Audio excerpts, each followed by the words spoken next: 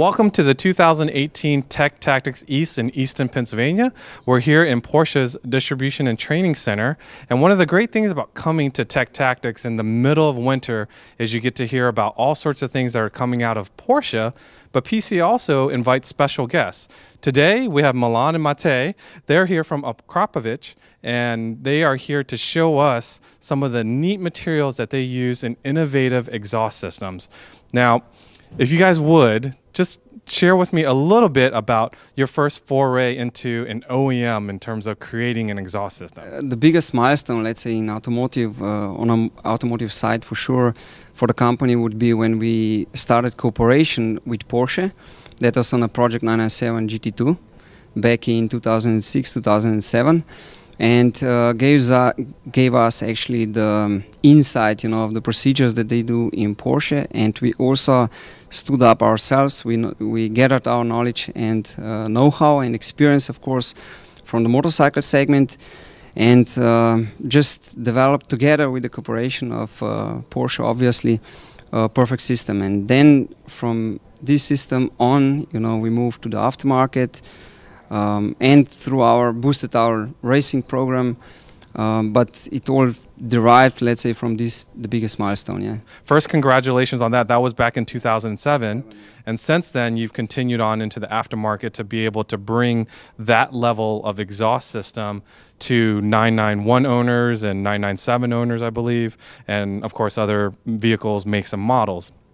But I think what for me is very unique to what you all do is you all are the third largest buyer of titanium. Third largest buyer of titanium in the world, only behind, I believe, the aerospace industry and the military. Um, so that's a lot of titanium. So I believe you buy in flat rolls, and we'll we'll show the exhaust here in a bit but you start with flat rolls and you make these beautiful pieces. Um, how does that how does that happen? So this was the you know to using the titanium. This was the decision made uh, by the team. You know, uh, actually at the beginning of the existence of the Akrapo, which is like 25 years ago, that um, to work with titanium, uh, that this is the future. Yes, um, lightweight, durable. I mean, these were all uh, characteristics uh, that uh, exhaust system should have. First thing is we buy in uh, in flat sheets, yes.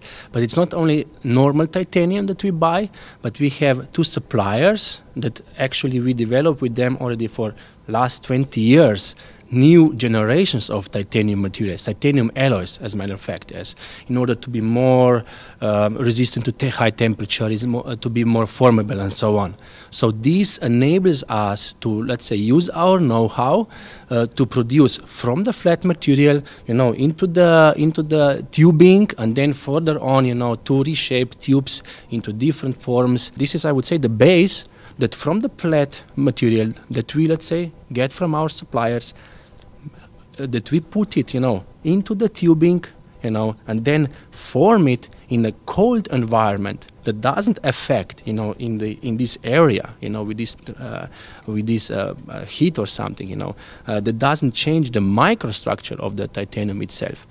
This is, I would say, the the know-how, and this is the beauty of uh, to create, let's say, perfect exhaust.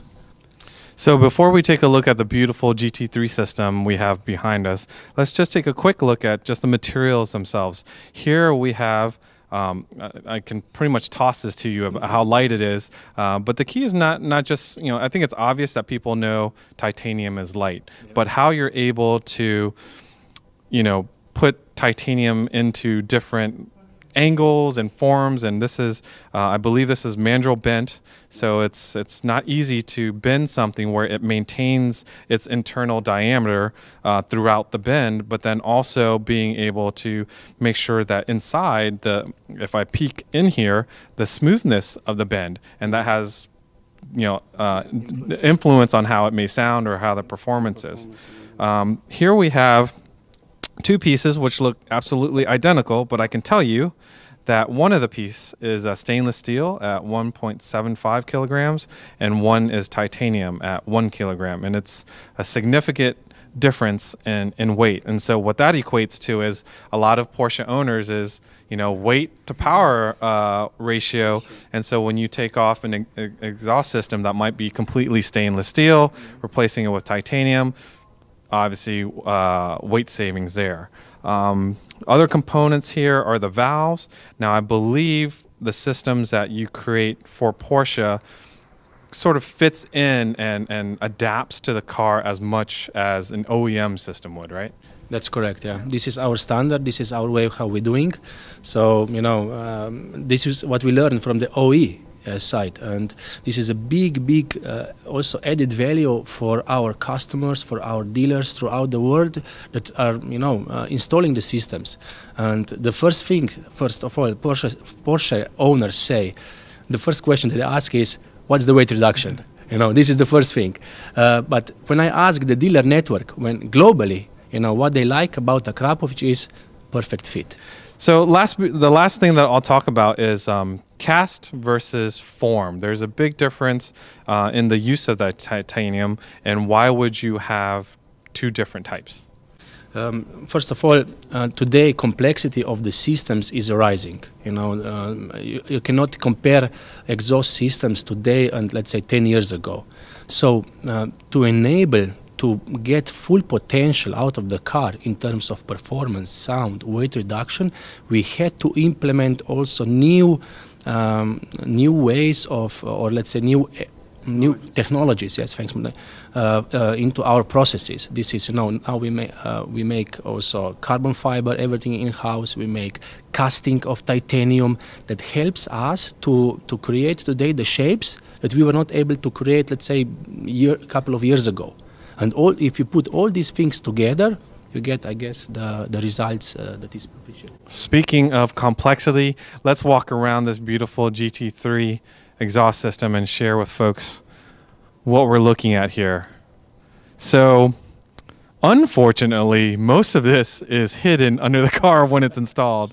Because um, when I say unfortunately, is because you really get to enjoy how beautiful um, you know this is all assembled the welds and how clean the finish um, one of one of the things that I always wondered about is, you know, there's a lot of exhaust manufacturers out there. Um, I come from a Mustang background where, you know, the the stock exhaust on my Mustang was fairly inadequate, and when I put on a aftermarket exhaust, it was fairly easy to make power because there was a lot of untapped potential. But when you know when we're talking about Porsches and the engineers at Weissach, you know they've dialed in the efficiency of you know those motors to the max. So one would think like you know they've squeezed the lemon so much. How are you guys able to get that much more performance? The sound is one thing, and we'll talk about that in a bit. But how are you able to extract that much more power from something that we thought was already dry? You know. Mm. Mm, if I if I may add yeah. the first maybe from commercial side a little bit, you know, in Akrapovic every day uh, comes to work more than 1,200 people just to think about the exhaust, to breathe the exhaust, to create the exhaust. Uh, uh Matej is R&D. You know, uh, we have more than 100 engineers only in R&D to develop today the level of exhaust uh, that you can uh, see here in front of us. You know yeah. can speak more. Yeah, but yeah, that's true, Milan. Uh, the thing is that you know normally we have really we are walking on a limit, let's say. But this answer would, from my side, would be that it's a combination of few elements, few details that we are really taking care of. First of all, let's say legal wise we are always searching for this gap you know to be on the limit on the edge this gives us then the sharpness you know the exhaust or maybe the gap to to get it better in some areas right this is the first one for sure then the second one is that we normally do one part of the exhaust homologated right and the other one is let's say partially homologated or even if it's not we emphasize the features of it in a way to increase certain parameters. So the third one for sure would be the technological side. So we take care of all the details of manufacturing, how it's assembled, uh, what you mentioned before, the manual, the CNC manual, manual bands, you know, done flawlessly, welding of it, assembling it together, And on the other hand, you know, the biggest part for sure is our NVH, you know, NVH. Uh, for those, that's noise, vibration, and harshness. Yeah, exactly. So that means that our acoustic engineers and um, has have quite a lot of experience, right?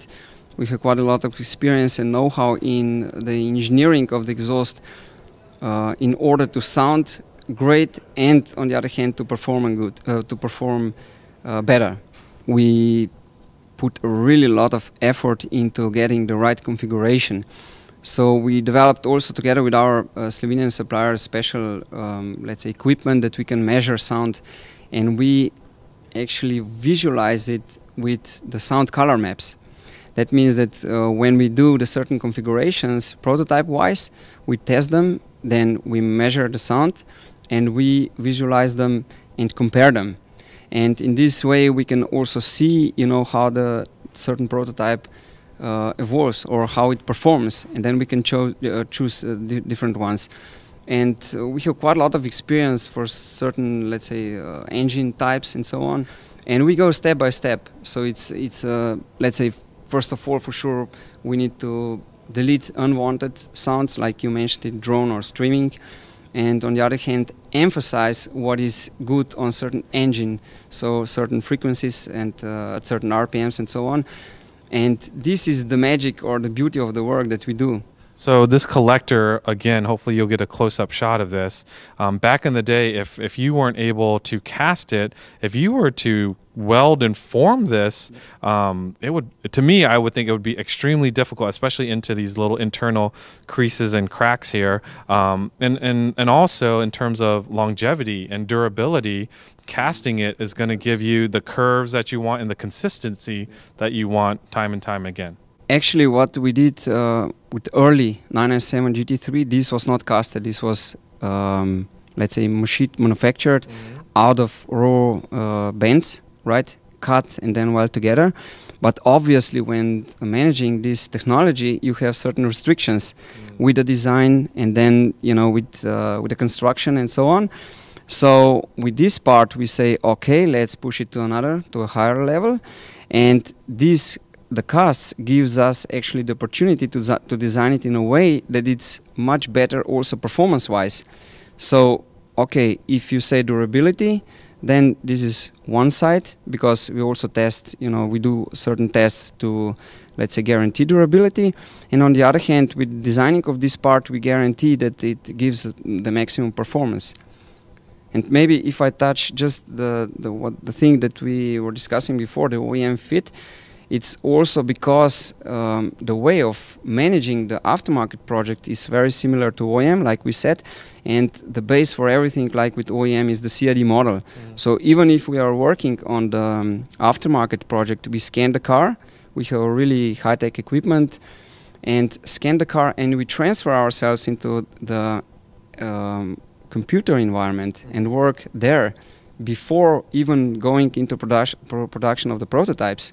So derived from that, when we are satisfied with the configuration, when we say, okay, it's done, let's put it in the. Then you build a prototype and then you do further testing. Yes, but we also finalize the CAD model.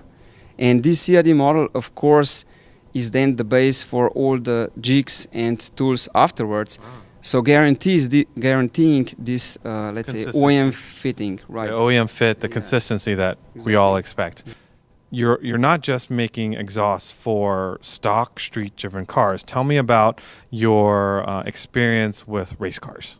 Yeah, for sure. We started uh, that was back in 2007. We started with Manthey Racing, and that was uh, on the project GT3 RSR.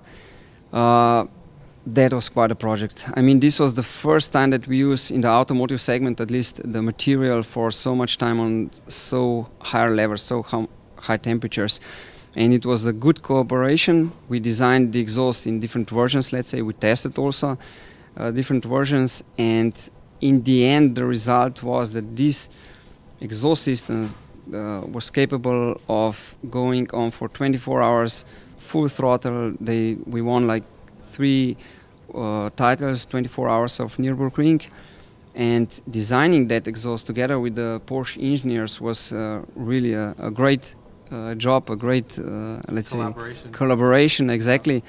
And it also proven us that our materials material is uh, capable of doing that.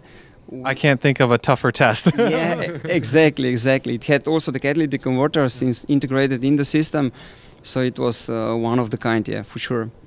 Well, again, coming to Tech Tactics, you get to meet gentlemen uh, such such as these two uh, who live and breathe performance and, and Porsche, and uh, we're glad that you're here. Uh, I love the fact that you know what you raced, what you designed with Porsche is That's what you're applying to our street cars because those of us live vicariously through these products and through your experience. And I thank you both for uh, being here with us today.